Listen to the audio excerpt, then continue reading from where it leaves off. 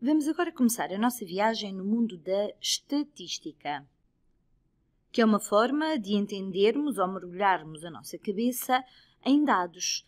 A estatística tem tudo a ver com dados.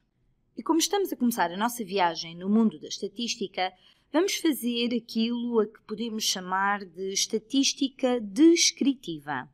Então, se tivermos muitos dados e se quisermos dizer alguma coisa sobre todos esses dados sem recorrermos a todos eles, podemos de alguma forma descrever toda a informação desses dados com um conjunto menor de números.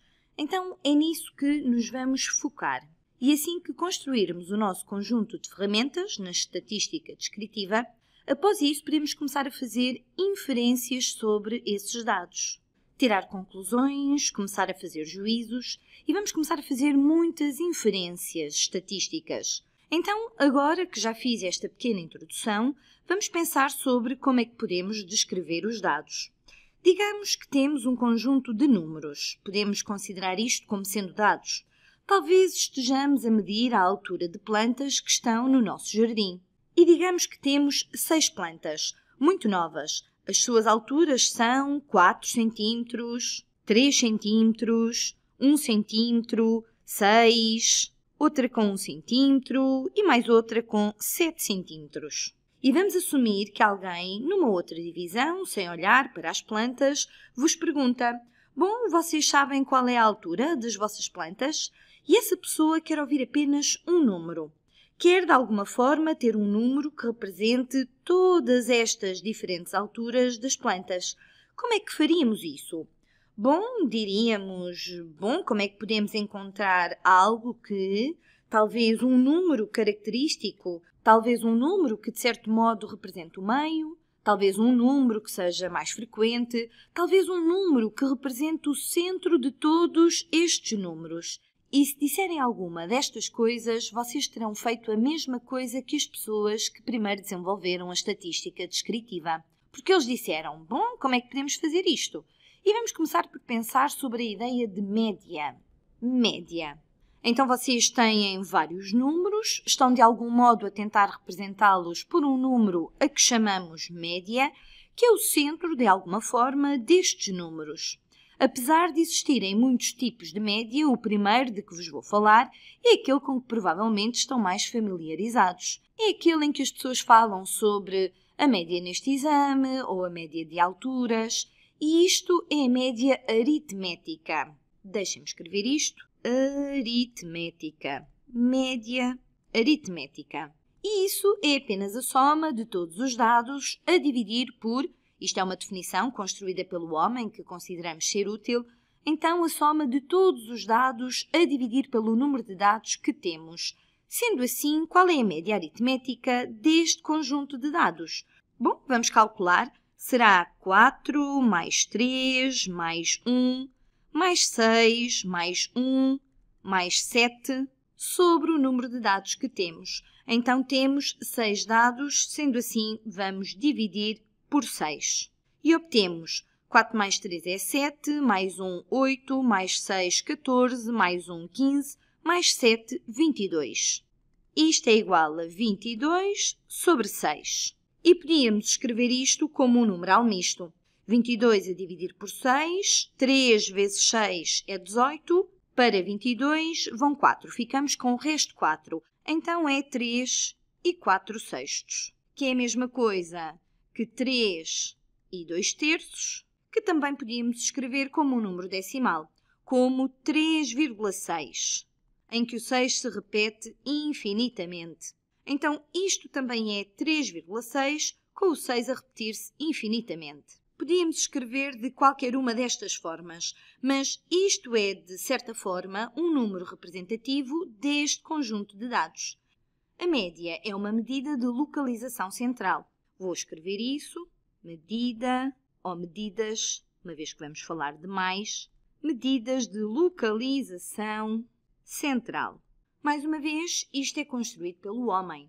Nunca ninguém, não é como se alguém tivesse descoberto um documento religioso que dizia este é o caminho que deve ser definido para a média aritmética. Não é puro como o cálculo que, digamos, descobre o perímetro do círculo, que de facto existe é uma definição construída pelo homem que consideramos ser útil. Agora, existem outras formas de descobrir um valor que caracteriza este conjunto de dados. Outra medida de localização central, muito usada, é a mediana. E vamos escrever mediana. Estou a ficar sem cores, então vamos escrever a cor de rosa. Então, aqui está, mediana. E a mediana é literalmente procurar o número do meio. Temos de ordenar todos os números do nosso conjunto e encontrar o do meio. Então, isso será a nossa mediana. Então, sendo assim, qual é a mediana deste conjunto de números? Vamos tentar descobrir. Vamos ordená-los. Então, temos um 1, depois temos outro 1, depois temos um 3, depois um 4, um 6 e depois um 7. Tudo o que fizemos foi reordenar isto. E então, qual é o número do meio? Bom, uma vez que temos um número par de números, temos seis números, não existe um número no meio. De facto, temos dois números no meio. Temos aqui dois números no meio. Temos o 3 e o 4. E neste caso, quando temos dois números no meio, o que fazemos é descobrir o número a meio destes dois números. Essencialmente é calcular a média aritmética destes dois números para encontrar a mediana. A mediana será a média de 3 e 4, o que será igual a 3,5. Então, neste caso, a mediana é 3,5. Se temos um número par de números, a mediana é a média aritmética dos dois números do meio. Se tivermos um número ímpar de números, é mais fácil de calcular. E de modo a vermos isso, deixem-me dar-vos outro conjunto de dados. Digamos que o nosso conjunto de dados, e vou já colocá-los ordenados, digamos que o nosso conjunto de dados é 0, 7, 50 e não sei, 10 mil, 10 mil e 1 milhão. Digamos que este é o nosso conjunto de dados. Um conjunto de dados um pouco estranho, mas nesta situação, qual é a nossa mediana?